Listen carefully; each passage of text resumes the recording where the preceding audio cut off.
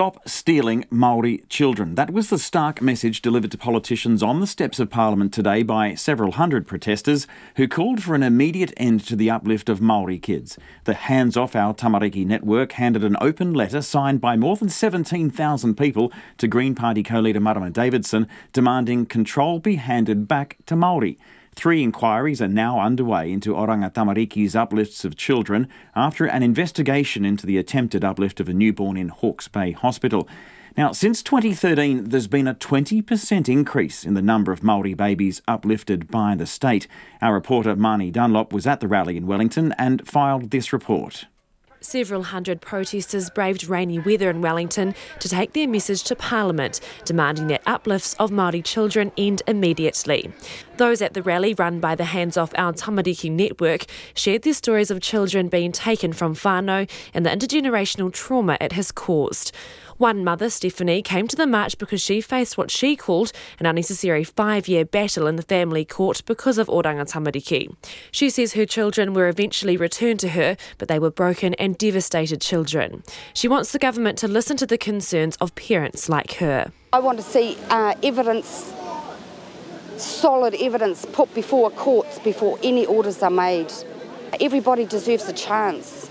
Another protester, Lizzie Strickett, who works in maternal care research, was there to support Māori midwives. This isn't a new fight. Māori midwives have been doing this for over 100 years to keep whānau protected.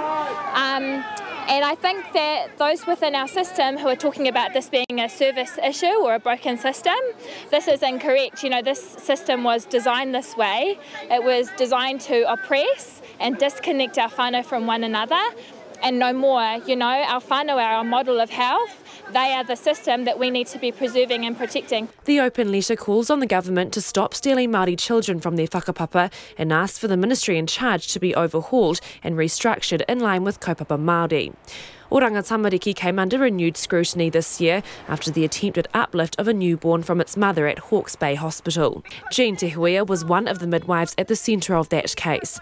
She says Oranga Tamariki's policies are racist and it is continuing to hurt iwi and hapu. When we look at the statistics of children in state care today, they're third, fourth and fifth generation. So some of them are telling me that their children they are children of state care, their parents were and their grandparents were, and to me it looks like they're targeted. So we have intergenerational families of children who are going into care because they have already been preempted. Academic Dr Rawiri Waretini-Karena says the practice of taking babies from Māori has been going on far too long. He says the state is participating in the annihilation of Māoridom. If you think about the um, uh, UN definition of genocide, well, part of that process is uh, the taking of babies uh, and giving them to caregivers not of that culture. And so for me, uh, um, what that actually means, if that's the definition of genocide, why is Oranga Tamariki or even this New Zealand government implicit in genocidal practices? He says enough is enough. Uh, Māori for Māori, uh, we need to look after our own. And uh, we have the, you know, the capacity, uh, the aroha, because they're ours. MPs, including the acting Prime Minister Kelvin Davis, briefly addressed the protest, which was met with shouting from the crowd. He said he supports the Minister for Children, Tracey Martin, and her mahi, and says she is making the changes that the protesters are asking for.